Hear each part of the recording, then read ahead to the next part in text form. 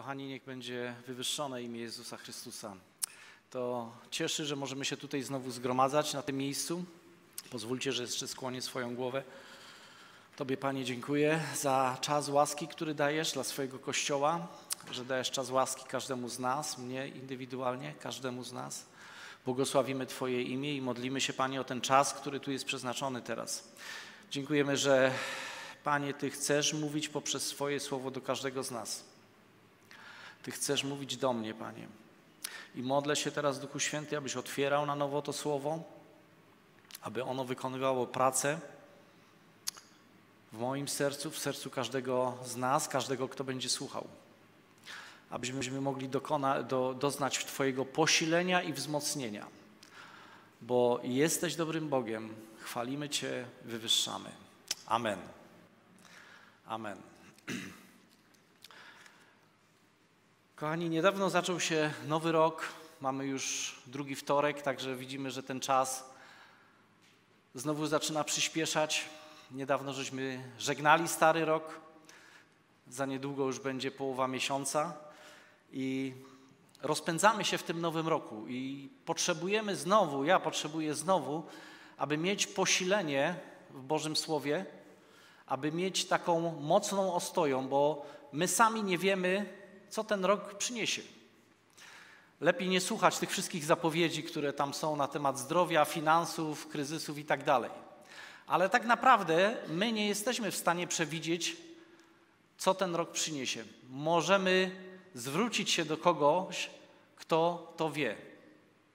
Kto wie, co się wydarzy, dlatego że on zaplanował każdy rok, każdy miesiąc, każdy dzień, każdy tydzień w naszym życiu. Dlatego, kiedy kierujemy nasz wzrok do Jego słowa, kiedy kierujemy nasze słowa przed Jego oblicze, to nigdy nie, znajdzie, nie doznamy zawodu. Będziemy posileni i wzmocnieni. I tak naprawdę dzisiaj ja staję z bardzo prostym przesłaniem tutaj przed Wami. To nie będzie żadne jakieś skomplikowane przesłanie. Ja Wam chcę dzisiaj powiedzieć, że Bóg jest dobry. Amen? Bóg jest dobry i to jest taki. Ja niedawno ogłosiłem o kamieniach w życiu chrześcijan. Ktoś, kto był y, w grudniu na moim głoszeniu, to być może pamięta. I tak naprawdę to powinien być kolejny kamień, właśnie to stwierdzenie dla naszego, że, dla naszego życia, że Bóg jest dobry. Ja mówiłem o dwunastu kamieniach, ale tych kamieni możemy sobie ułożyć dowolną ilość, dlatego że Boże Słowo jest przesycone Jego prawdami. I to są prawdy, które wnoszą jakość dla naszego życia, które mogą stać się kamieniem, kiedy przychodzi niepewna sytuacja, kiedy przychodzi zagmatwana sytuacja, to my możemy stanąć na czymś twardym, na czymś wypróbowanym i powiedzieć: Być może nie, rozeznaję, nie rozeznaję tej sytuacji, która jest, ale ja wiem, że Bóg jest dobry w każdej sytuacji. I wszyscy, albo prawie wszyscy, dostaliśmy takie kalendarze na początek czy na koniec tamtego roku i one, one też są cudowne, one mają przesłanie, bo one mówią o dwunastu imionach Boga. Ale znowu, tych imion Boga mogłoby być 365, a kto wie, czy nie i więcej. Był naprawdę wielki problem, kiedy mieliśmy ograniczyć, wybrać 12 imion, które byłyby przesłaniem dla nas. I znowu mogłoby tam być kolejne napisane, że Bóg jest dobry bo to jest prawda, którą powinniśmy sobie przyswajać każdego dnia i każdego miesiąca. Ale wiecie, ta prawda jeszcze nie jest pełna. Muszę Was jeszcze zachęcić do jeszcze jednego wyzwania. Powiedzieliśmy, że Bóg jest dobry, ale tak naprawdę musimy powiedzieć: Bóg jest dobry dla mnie. Bo to, że Bóg jest dobry, to jest jakaś ogólna prawda, ale czy Ty doświadczasz dobroci Boga w swoim życiu? Powiedzmy wszyscy, Bóg jest dobry dla mnie. Dobry dla mnie. Bo wtedy to osobiście bierzemy odpowiedzialność za wyznane słowa. A jeżeli ta proklamacja płynie z naszych ust, to ona będzie przynosiła też posilenie i wzmocnienie. Bóg jest dobry to dużo więcej niż chrześcijański frazes. To się tak bardzo często to słyszymy, Bóg jest dobry, tak? To jest taki chrześcijański, już można powiedzieć, frazes. Powtarzamy go. To taka prawda teologiczna, która musi się zmierzyć z okolicznościami w naszym życiu. Zakotwiczenie w Bożej obecności nie zawsze jest łatwe. Zakotwiczenie w Bożej dobroci nie zawsze jest łatwe, dlatego że różne okoliczności spotykają nas na naszej drodze. I ja sobie zapisałem taką definicję wiary w Bożą dobroć. Pozwólcie, że to przeczytam. Wiara w Bożą dobroć to uparta, duchowa determinacja, by nie pozwolić zepchnąć trudom życia i innym okolicznościom Boga na drugi plan w naszym życiu. Dlaczego? Dlatego, że na tą prawdę, że Bóg jest dobry, Bóg jest dobry dla mnie, napiera też inna prawda, która też jest zapisana. Ona jest zapisana w Ewangelii Jana 10:10. 10. Możemy to wyświetlić. I tam Jezus powtarza słowa: Złodziej przychodzi po to, aby kraść, zarzynać i niszczyć. Ja przyszedłem, aby owce miały życie i to życie w całej pełni. I tu jest ta różnica, że jest Bóg, który jest dobry, On jest dobry dla mnie i jest przeciwnik, który będzie przychodził do naszego życia, który przychodzi, próbuje przychodzić, podchodzić pod nasze życie jako chrześcijan i zrobić tam swoje dzieło. I dlatego to, co mamy ustanowione, musi być silnym kamieniem w naszym życiu. Dlatego, że Jezus przyszedł, abym ja i ty miał życie w pełni. Inne, inne y, tłumaczenie mówi, abym ja i ty miał życie w obfitości. W obfitości tego, co On dla nas przygotował. Diabeł zawsze będzie chciał nas okradać i zabijać. On jest złodziejem i kłamcą. Bóg obdarowuje swoje dzieci, błogosławi, daje życie i zabezpiecza nasze życie. To, że nie widzimy gotowego produktu, gotowego produktu naszego życia, to nie znaczy, że ono nie będzie Bożym arcydziełem. Amen? Może kiedy patrzymy, kiedy ja patrzę na swoje życie, to widzę, tak wiele jeszcze jest uchybień, tak wiele rzeczy być może zepsułem, tak wiele rzeczy, w tak wielu rzeczach się potknąłem. Ale Bóg nieustannie poprzez swoją dobroć pracuje nad moim i Twoim życiem. I mówi o tym zapisany list, jest to ta prawda zapisana w liście do Filipian 1,6 kiedy apostoł Paweł pisząc do tego kościoła mówi tak: Jestem przekonany, że ten, który zapoczątkował was dobre dzieło, jakie dzieło? Dobre dzieło, tak? Zapoczątkował we mnie i w tobie, bracie i siostro, we mnie i w tobie, zapoczątkował dobre dzieło, on będzie je doskonalił, aż do dnia powrotu Jezusa Chrystusa.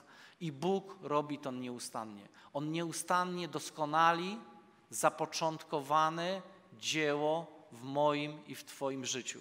Choć jak bardzo by Ci się życie nie podobało Twoje, jak bardzo byś miał negatywny obraz czy negatywne zdanie na ten temat, to Bóg swojej pracy nie skończył. Mamy zawsze Boga po naszej stronie, jako dobrego Ojca, który obdarowuje, błogosławi, wychowuje. Jednak zawsze ku dobremu. To prawda jest dla naszego życia, to jest kamień dla naszego życia. Kolejny werset, który ma nas w tym utwierdzić, to jest tak naprawdę przypomnienie, które często tu ostatnio było wybrzmiane. Ono jest zapisane w liście Jakuba 1, 16, 17. Nie dajcie się zwieść, moi kochani, bracia. Całe dobro, którym można obdarzyć i wszelki doskonały dar pochodzą z góry, od Ojca Światłości. W nim nie ma żadnej zmienności ani cienia odmiany. Bóg w swojej dobroci jest stały. To nie jest zmienna, która kiedy my wykonujemy jakieś kroki w Jego kierunku, który Bóg będzie wtedy bardziej otwierał swoje serce dla nas, a kiedy nam się noga powinie, to Jego głowa się odwróci w drugą stronę. Bóg jest w swojej dobroci dla nas stały. On się nie zmienia. Tam nie ma chwilowego cienia, chwilowej odmiany, chwilowej zmienności. On jest Ojcem dobra i naszą sprawiedliwością.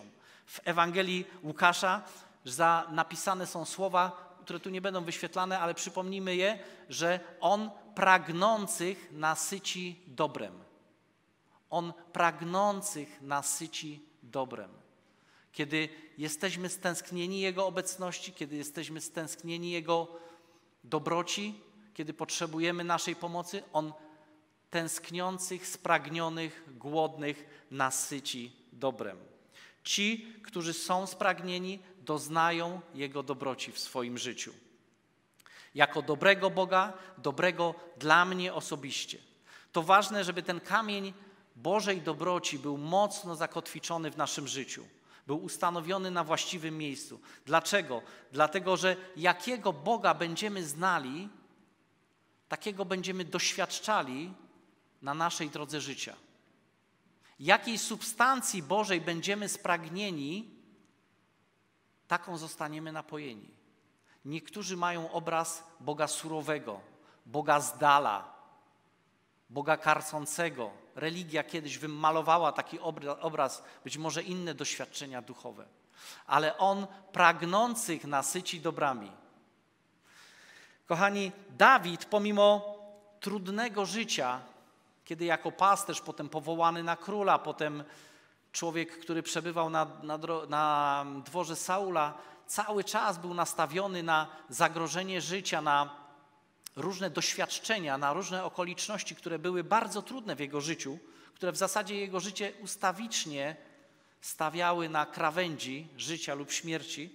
On zapisał takie słowa y, w Psalmie 145. To są słowa, które doświadczony życiowo człowiek napisał ze swojej relacji z nim.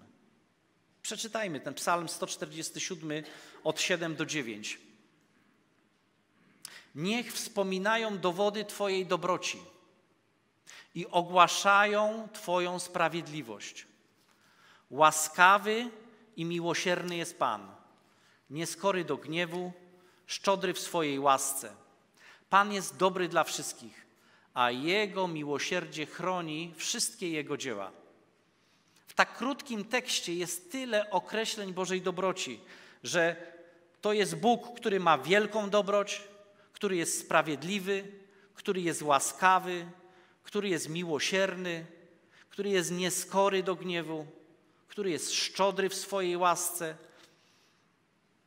jest dobry dla wszystkich, a Jego miłosierdzie chroni wszystkie Jego dzieła. On nam przedstawia Boga takiego, jakiego znał.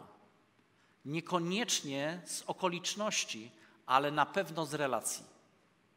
Dlatego, kiedy zanurzamy się w Jego słowie, kiedy bierzemy Jego prawdy, kiedy budujemy kolejne kamienie naszej wiary, po których możemy stąpać, wtedy On się nam objawia jako Bóg, który chce dobrych rzeczy dla naszego życia. Dlaczego w ogóle o tym mówimy? Bo mam takie przekonanie, że może być stan, w naszym życiu, czy może w jakichś innych okolicznościach, które zaciemniają obraz dobrego Boga. Łatwo nam wyznać, że Bóg jest dobry, ale przychodzą okoliczności i kiedy już mówimy, no nie jestem tego taki pewien. Wydarzyło się to, wydarzyło się tamto, spotkały mnie takie okoliczności. Być może Bóg jest dobry, ale dla innych, ale czy dla mnie? Dlatego to podkreślenie dla mnie było, było takie istotne. Więc mo, może być sytuacja, mogą być sytuacje w naszym życiu, kiedy wejdziemy w stan jakiegoś zamieszania, jakiegoś chaosu. Biblia przestrzega nas, aby przygotować się na rozróżnianie takich sytuacji.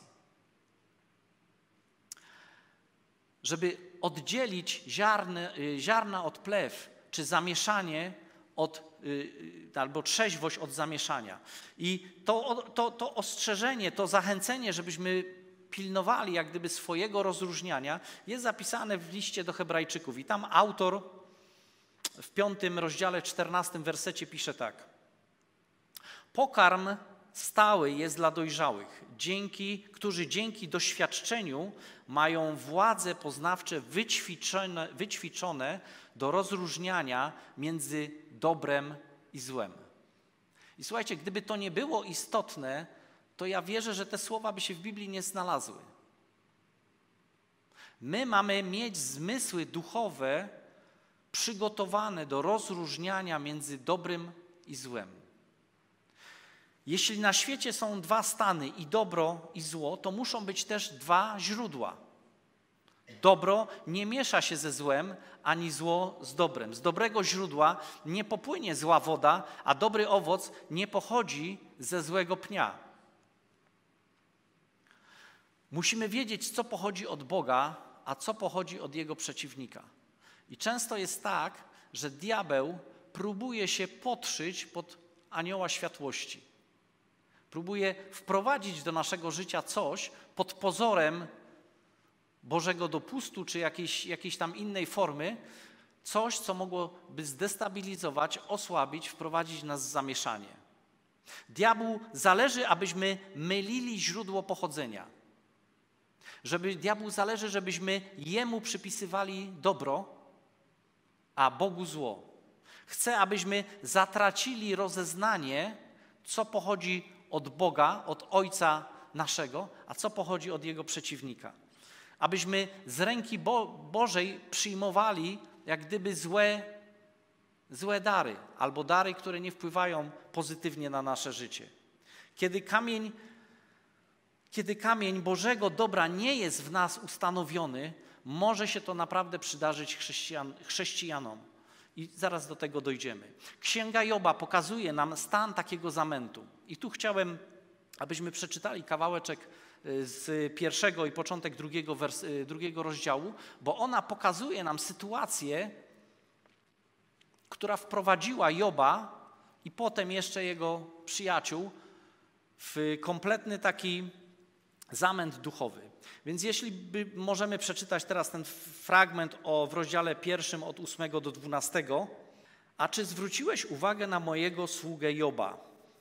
Zapytał dalej Pan i dodał: Tak, nie ma na ziemi drugiego takiego jak on. To człowiek nienaganny, prawy, żyjący w bojaźni Bożej, stroniący od zła. A szatan powiedział Panu: Czy za darmo Job żyje w bojaźni Bożej? Czy nie otoczyłeś troską Jego samego domu i wszystkiego, co do niego należy? Błogosławisz dziełom Jego rąk. Dzięki Tobie Jego majątek mnoży się na ziemi. Lecz wyciągnij tylko rękę, dotknij tego, co ma. Zobaczymy, czy nie zacznie Ci złorzeczyć. Wtedy Pan powiedział do szatana: Oto wszystko, co mam, jest w Twojej mocy, tylko Jego samego nie dotykaj. Szatan odszedł przed obliczu Pana. I werset 21. Job mówi tak: Pan dał, Pan wziął, niech będzie imię Pana błogosławione. I przejdźmy do drugiego rozdziału, siódmy werset. Szatan odszedł więc przed oblicza Pana i odebrał Jobowi zdrowie. I to jest dłuższy fragment tej historii, który wszyscy wielokrotnie żeśmy pewnie już czytali. Ja chciałem zwrócić uwagę tutaj na parę wersów. Przede wszystkim na stosunek Boga do Joba. Joba jako człowieka nienagannego. Nie ma takiego drugiego jak on. To człowiek nienaganny, to człowiek prawy, żyjący w bojaźni Bożej, stroniący od zła. To jest opinia Boga na temat Joba. Nawet przeciwnik, szatan, wypowiada słowa, które świadczą o dobroci Bożej dla Joba, bo mówi tak: Czy nie otoczyłeś troską jego samego? Jego domu, wszystkiego, co do Niego należy. Błogosławisz dziełom Jego rąk. Dzięki Tobie Jego dobytek mnoży się na ziemi. To jest stosunek Boga do Joba. Ale co się stało, co przeczytaliśmy w 21 y, wersecie? Job mówi, Pan dał, Pan wziął, niech imię Pana będzie błogosławione. Przypisuje że to Bóg pozbierał mu wszystkie rzeczy, którymi wcześniej go obdarował. Natomiast werset siódmy w drugim rozdziale prostuje i mówi: Szatan odszedł więc przed oblicza Pana i odebrał zdrowie Jobowi. I chodzi mi tutaj o to krótkie przesłanie, że Bóg w życiu Joba był źródłem dobra. Ten, kto odebrał Jobowi zdrowie, ten, kto odebrał Jobowi wszystkiego, wszystko, był szatan. Mamy to napisane w siódmym wersecie drugiego rozdziału. Szatan odszedł i odebrał Jobowi zdrowie. I widzimy, że Bóg się chwali Jobem, jest z niego zadowolony. Dobrze, że werset siódmy prostuje, kto jest źródłem zła. Czasem mam wrażenie, że może nam się przydarzyć sytuacja, kiedy właśnie mylimy, kto nam co zabiera. Mówimy, Pan dał, Pan wziął. Moje zdrowie, moje finanse, moje relacje, moją pozycję w pracy, być może jakieś inne rzeczy. I przypisujemy to, że Bóg pierwsze daje nam, a potem nam odbiera. Ale czytaliśmy w Jakubie, że w nim nie ma chwilowego zaćmienia. W nim nie ma sytuacji, że raz daje ci dobre dary, a drugą ręką przychodzi za chwilę i odbiera. Owszem, Bóg może ci odebrać, ale tylko to, co by służyło Twojemu zniszczeniu, to, co, to, co mogłoby wyrządzić szkodę w naszym życiu. I tak naprawdę takie zabieranie jest dla naszej korzyści. Amen? Amen. Dzięki Tomek. Takie zabieranie jest dla naszej korzyści, dlatego że Bóg ma dobre myśli o nas, a nie myśli o, myśli o pokoju, a nie o niedoli. Myślę, że y, jeżeli znamy Boga i znamy obietnice Boże zapisane w Jego Słowie, a one znikają w naszym życiu, to stawiam tezę, że za tym nie stoi Bóg, tylko diabeł. Amen? Słowo Boże jest pełne obietnic dla ludzi wierzących. Ale nie jest tam napisane, że jeżeli będziesz kochał Boga, będziesz chodził Jego drogami, to dla próby zrobię ci tam psikusa i pozbieram ci pewne rzeczy. Kiedyś, e, kiedyś odwiedziłem mojego kolegę, który miał wypadek i złamał nogę i leżał dłuższy czas, czas nieuruchomiony, nie, unieruchomiony w łóżku. I kiedy przyszedłem do niego, mówi mi takie słowa: Wiesz co, mam cudowny czas z Panem, bo tyle czasu mogę poświęcić teraz, nie mogę nigdzie chodzić na czytanie Biblii. I ja wierzę, że można mieć dobry czas. I dalej kontynuuje, mówi tak: Ja dziękuję Bogu, że tą nogę złamałem. A ja sobie myślę, gdzie jest taki ojciec, który chce porozmawiać ze swoimi dziećmi i łamie dziecku nogę? Czy my, jako ci, którzy mamy swoje dzieci, i nawet jeżeli to dziecko nas ignoruje przez dłuższy czas, to idziemy do jego pokoju i mówimy: Złamię ci nogę, ty jeden mały hacharze, żebyś tu teraz siedział i miał ze mną relację? A Bóg jest o wiele lepszy. To, że Bóg wykorzystuje sytuację i zamienia diabelskie zło w swoje dobro, jest kolejną prawdą, którą musimy pamiętać i przyswoić do swojego życia. Bóg ma tą cudowną zdolność, moc i chęć, aby diabelskie zło w naszym życiu zamienić w swoje dobro. Amen? Amen. I niekoniecznie jest to dobre, że dopiero jak złamiemy nogę, to mamy czas na relację z Nim, bo tą relację powinniśmy mieć cały czas. Ale nawet sytuacja zła, że diabeł podłoży ci w życiu nogę i złamiesz lub coś, cokolwiek innego, Bóg też może wykorzystać do swojego dobra dla ciebie. Ale to nie jest celem Boga, że musi ci nogi połamać, żebyś Biblię otworzył. Wiemy, że Bóg mówi w Jeremiaszu: Ja, ja y, wiem, jakie plany mam o Was.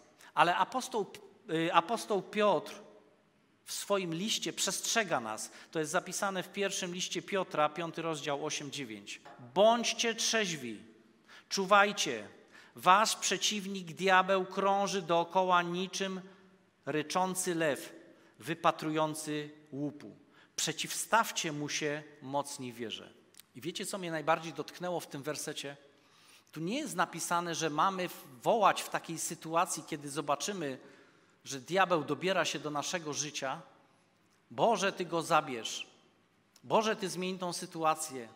Tu jest napisane: przeciwstawcie mu się mocni w wierze. Tu jest konkretne polecenie do nowotestamentowego wierzącego, który jest wyposażony we wszystko, co potrzebuje. Przeciwstawcie mu się mocni w wierze. To nie Bóg zabiera diabła z naszego życia, tylko my mamy stanąć i przeciwstawić mu się mocni w wierze. Dlaczego? Dlatego, że od Jezusa Chrystusa dostaliśmy już wszystko na krzyżu. Amen? Kościół i nowotestamentowy wierzący został wyposażony dzięki zwycięstwu Jezusa na krzyżu. Tam jest napisane, że wykonało się, że zostało dane, że zostało udostępnione dla Ciebie i dla mnie. Wszystko to, co będziemy potrzebować, aby diabłu przeciwstawić się mocnym w wierze. Jak się mamy przeciwstawić? Jak mamy to robić? A więc mamy autorytet w modlitwie. Mamy autorytet w ogłaszaniu słowa. Mamy oręż uwielbienia. Wszystko to robiliśmy dzisiaj. Mamy, możemy ogłaszać zwycięskie imię Jezusa Chrystusa. To są narzędzia walki duchowej, które zostały na krzyżu wywalczone dla Ciebie i dla mnie.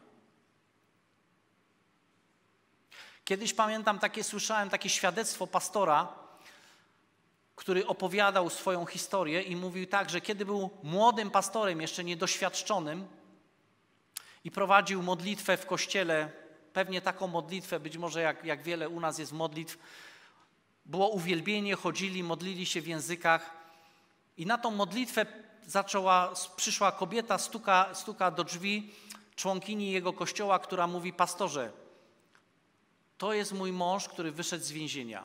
On potrzebuje uwolnienia.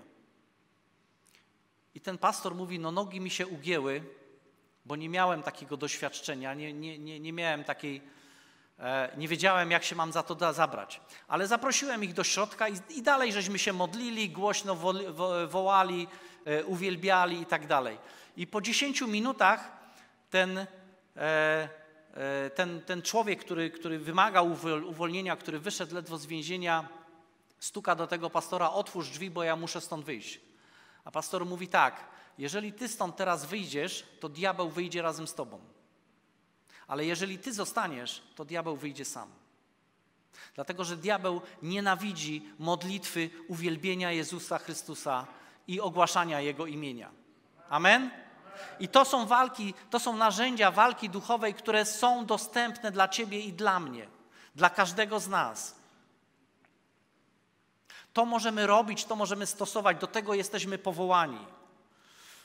I rozeznanie źródła pochodzenia działających wokół nas sił duchowych dla nowotestamentowego wierzącego, dla mnie i dla Ciebie jest podstawowym zadaniem, podstawowym obowiązkiem jako ludzi wierzących. W Efezjan czytamy, że bój toczymy nie z, nie z krwią i ciałem.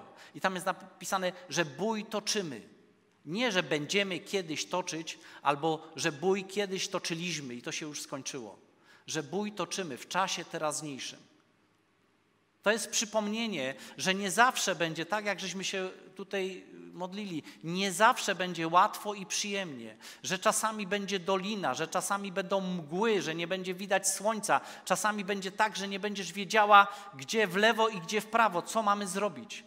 Ale jesteśmy do tego przygotowani, aby stojąc na kamieniu Bożej dobroci i innych prawd, które mamy w Biblii, wiedzieć, jak mamy wołać do Boga, kiedy mamy wołać, w autorytecie jakiego imienia i jakie imię mamy ogłaszać.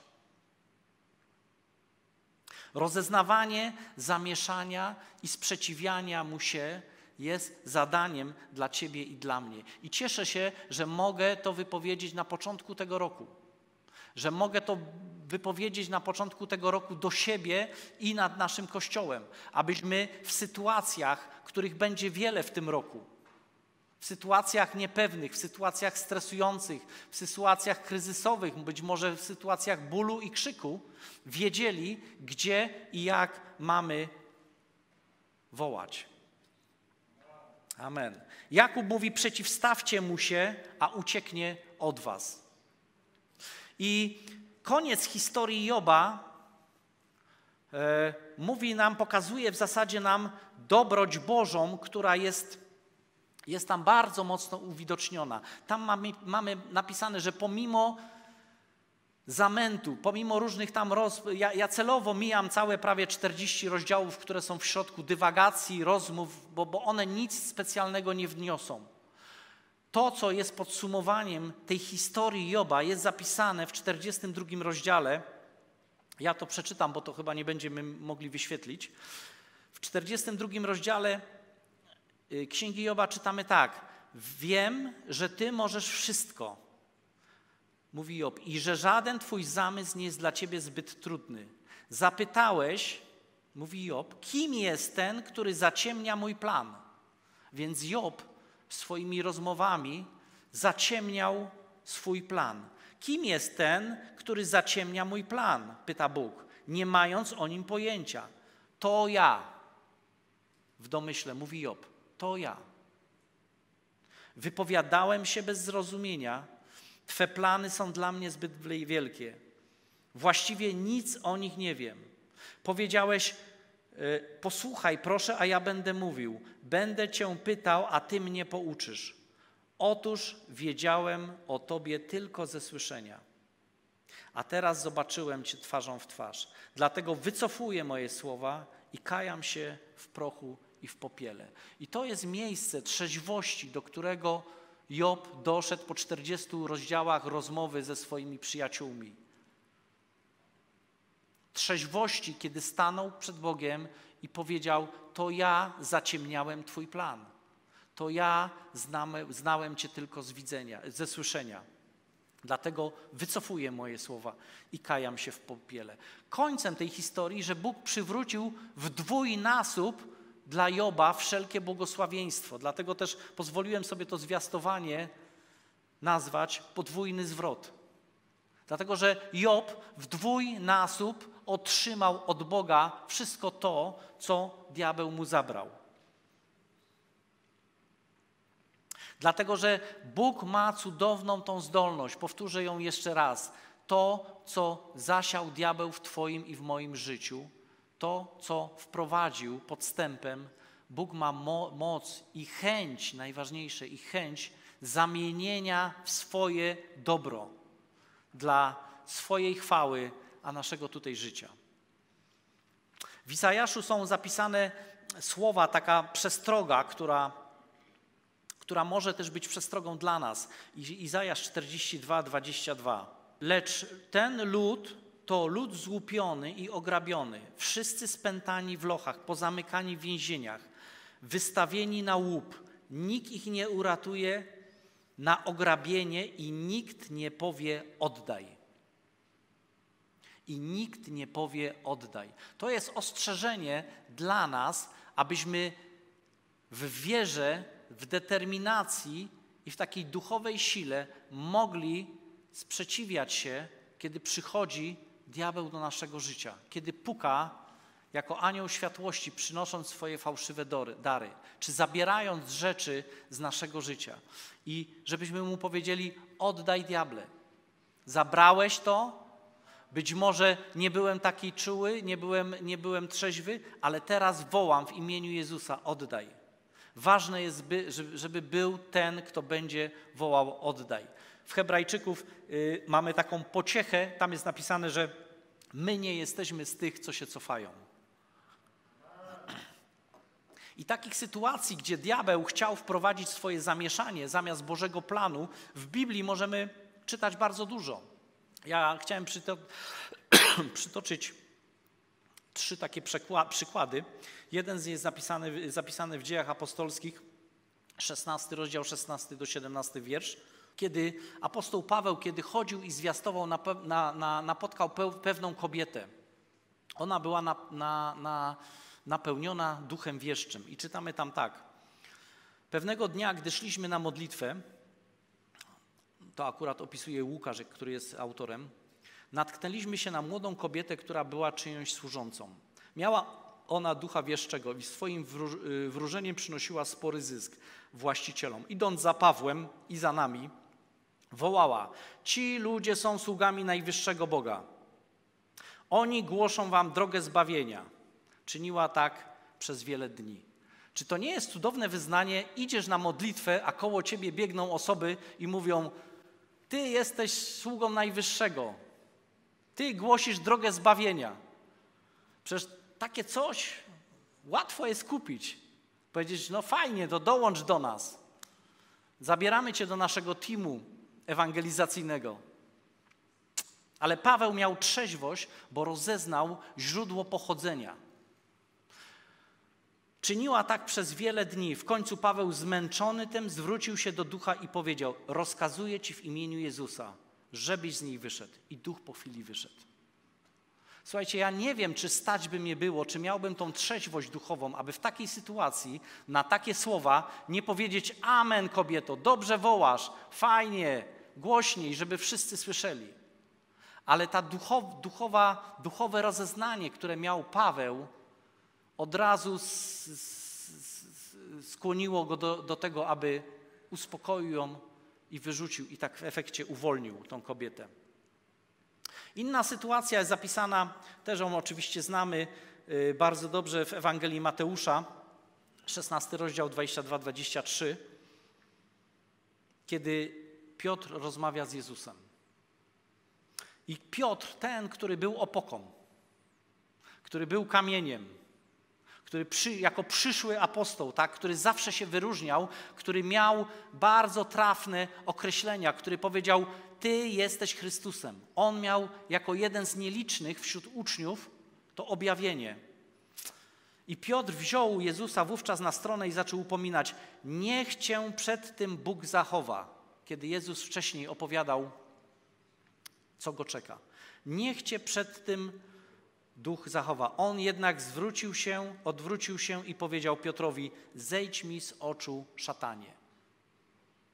Jezus wiedział, że nie walczy z ciałem i z krwią, że nie mówi tego personalnie do, do fizycznego Piotra, ale on mówi do ducha, którego stał, który stał za tymi słowami. I znów można by się łatwo nabrać, powiedzieć by, ale przecież ten Piotr był troskliwy.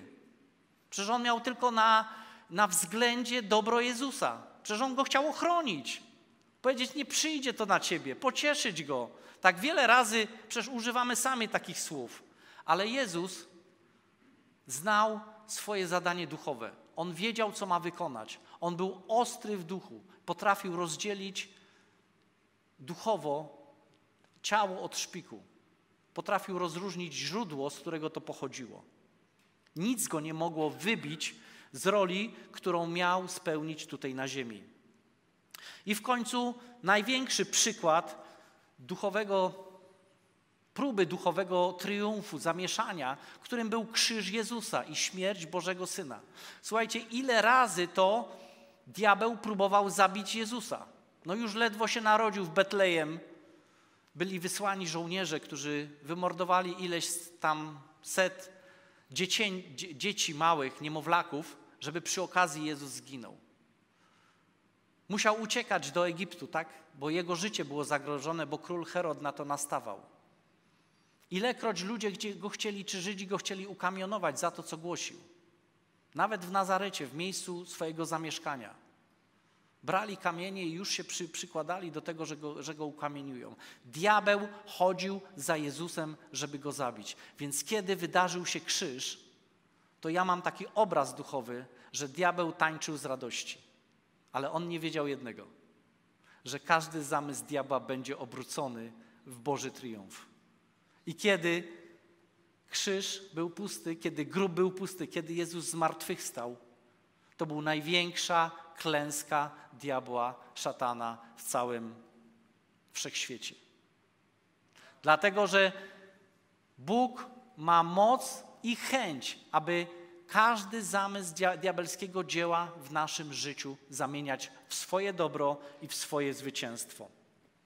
Pytanie jest takie, czy zawsze możliwy jest podwójny zwrot? To ma wiele wspólnego z poziomem naszej wiary i determinacji, ale podstawową prawdą, którą chcę, żebyśmy wszyscy zapamiętali, to jest właśnie to, co powiedziałem przed chwilą.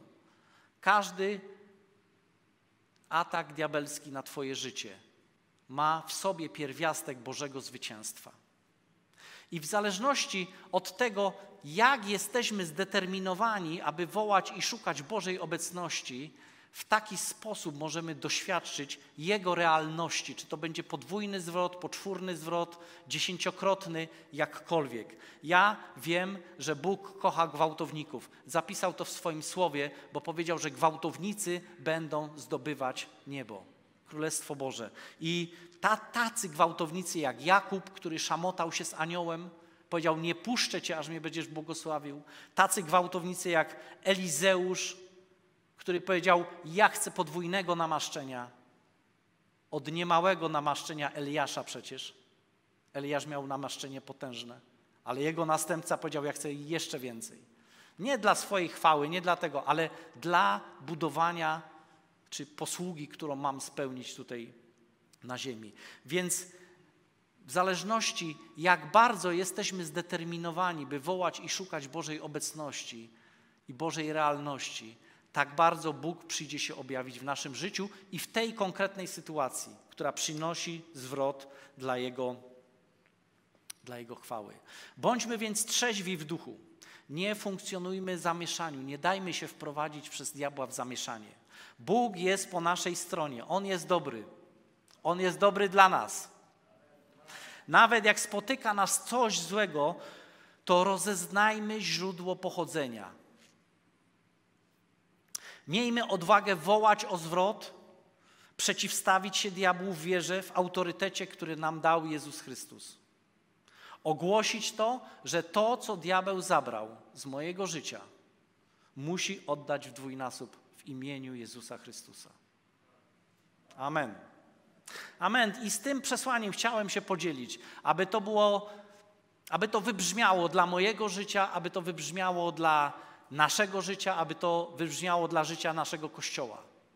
Bo kiedy żyjemy w trudnych czasach, to wiele sytuacji może się wydawać, że to nie są sytuacje biało-czarne, że możemy mieć problemy z identyfikacją, to pochodzi od Boga i to pochodzi od przeciwnika. Ale jeżeli w naszym wnętrzu, poprzez na, na Ducha Świętego, którego mamy, zidentyfikujemy, że to diabeł robi w naszym życiu spustoszenie, to miejmy odwagę się temu przeciwstawić wierze, bo do tego powołał i wyposażył nas Jezus Chrystus na krzyżu. Kochani, powstańmy, chciałbym się pomodlić. Kochany Boże, ja Ci dziękuję, że to Ty jesteś zwycięzcą na krzyżu. Ty powiedziałeś, że się wykonało.